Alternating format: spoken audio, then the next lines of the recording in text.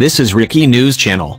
I'm James Menendez our top stories. S. President Joe Biden is being pressured by UK Prime Minister Boris Johnson to extend the Afghanistan evacuation window past its current deadline of August 31st, the UK government said. Johnson will press Biden for an airlift extension at an emergency summit of Group of Seven leaders on Tuesday, the Associated Press reported. The virtual meeting has been convened by Britain.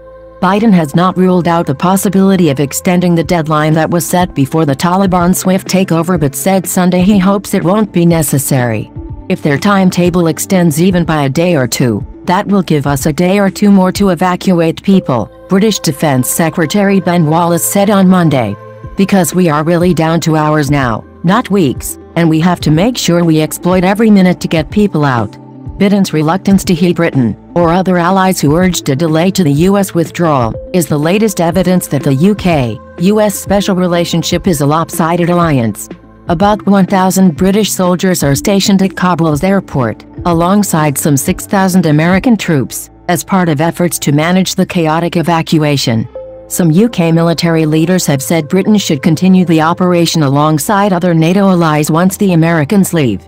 But UK Armed Forces Minister James Heappey said there is a hard reality that there would be no international airlift without the way that the US are underpinning it.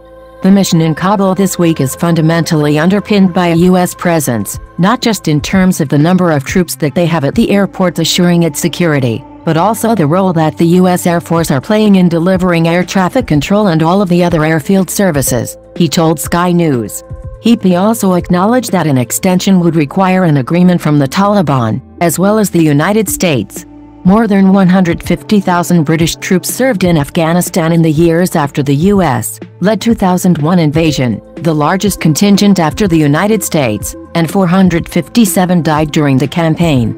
Senior UK military officers have expressed anger at the American pullout, saying it exposes the hollowness of the transatlantic special relationship, a phrase used since World War II to stress the bonds of history, language, culture and shared diplomatic interests between Britain and the U.S. Biden had warm words about the alliance when he and Johnson met for the first time at a G7 summit in England in June. We affirmed the special relationship, it's not said lightly, the special relationship between our people, Biden said. Though the two leaders struck a warm tone when they met, they have very different temperaments and outlooks. The president staunchly opposed Brexit, Britain's exit from the European Union that Johnson championed, and once called populist crowd pleaser Johnson a physical and emotional clone of former President Donald Trump.